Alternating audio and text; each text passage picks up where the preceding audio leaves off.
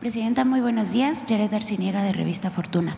Hoy se presenta el paquete económico para 2025 para su primer año de gobierno y ayer la calificadora de riesgos Moody's decidió degradar la perspectiva para la deuda soberana de nuestro país de estable a negativa pero reafirmó la calificación, lo que refleja solidez de la posición crediticia de México, es decir, que considera que nuestro país seguirá cumpliendo a sus compromisos.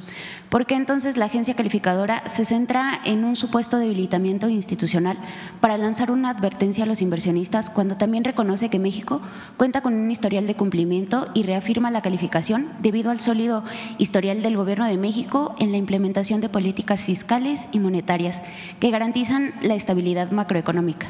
Por cierto, Presidenta, no es la primera vez que Moody's, sin tomar, eh, bueno, realiza cambios en su evaluación para México sin tomar en cuenta eh, información clave sobre el cumplimiento de los compromisos con los inversionistas.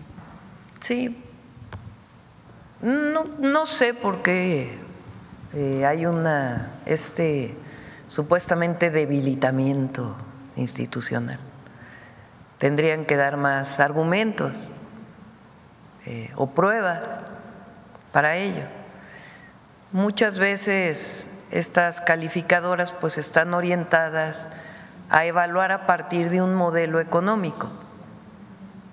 Ese es, digamos, como fueron construidas, más allá de criticar o no a una calificadora. Ese es el modelo con el cual califica. Y todos sabemos que a partir de 2018 el modelo económico en nuestro país cambió. Es un modelo basado en la austeridad republicana, en la economía moral, en reorientar presupuesto para programas sociales, para derechos eh, e inversión pública. Em, entonces, muchas veces estas evaluaciones tienen este sesgo original. Entonces, habría que preguntar por qué piensan que hay un debilitamiento institucional todas maneras, como bien dices, la calificación no, eh, no cambia. A todos los inversionistas eh, estamos haciendo un trabajo muy importante con el secretario de Economía, el secretario de Hacienda, todo el gabinete económico. Hay muchísimas inversiones para México en el 2025. Hay un portafolio de inversiones, se está trabajando con empresarios, empresarias mexicanas. Eh, de Estados Unidos particularmente, eh, para seguir aumentando estas inversiones en nuestro país y como saben, eh, las inversiones para nosotros tienen que generar no solo el, número de inversión extranjera directa, sino bienestar para las y los mexicanos. Entonces, ese es por un lado. Por otro lado, se presenta hoy el paquete económico, eh, está por presentarlo el secretario Rogelio Ramírez de la O. Es un eh, paquete muy sólido, vienen cambios eh, importantes en la manera de distribución del presupuesto, eh, se reduce el déficit y eso implica también un, un, esfuerzo mayor de todo el gobierno de austeridad republicana. Eso no implica afectar la operación del país, ni mucho menos, ni del gobierno, pero así algunos ajustes. Obviamente se garantizan los programas de bienestar, inversiones públicas eh, y se hace una reorientación. Y al fortalecer Pemex también, y Comisión Federal de Electricidad tiene buenas finanzas, al fortalecer Pemex, pues también vamos a fortalecer toda la economía del país. La economía de México está sólida, está fuerte y, vamos a salir adelante el próximo año. Y también eh, en su comparecencia con legisladores, el secretario de Hacienda, eh, Rogelio Ramírez de la O, eh, aseguró que la presidencia de la República que usted encabeza está consciente de cuál es la realidad de los recursos con los que cuenta el presupuesto y que las necesidades son muchas. Textualmente, el secretario Rogelio Ramírez de la O dijo cuando se le preguntó sobre la necesidad de una reforma fiscal.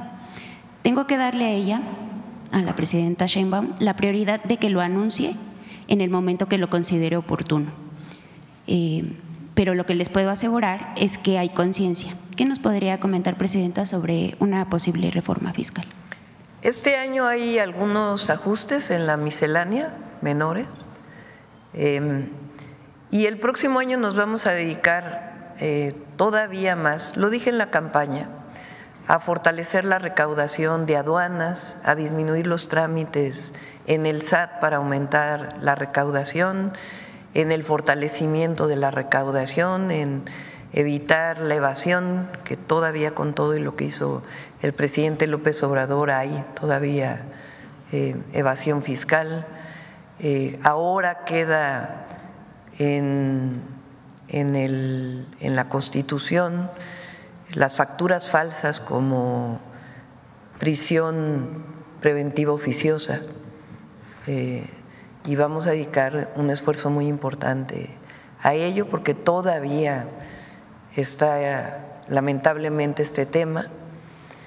Entonces vamos a trabajar en ello y en el transcurso del año, en todo caso revisar, porque también eh, se revisa con los distintos sectores del país, como por ejemplo ahora el aumento al salario mínimo viene también por consenso, ya lo anunciaremos en su momento, pero igual, eh, si son necesarias reformas adicionales, pues lo estaremos trabajando a lo largo del próximo año. Pero todavía yo creo, es más, lo hemos estudiado ya por varios meses, hay muchas oportunidades de recaudación sin necesidad de una reforma fiscal profunda.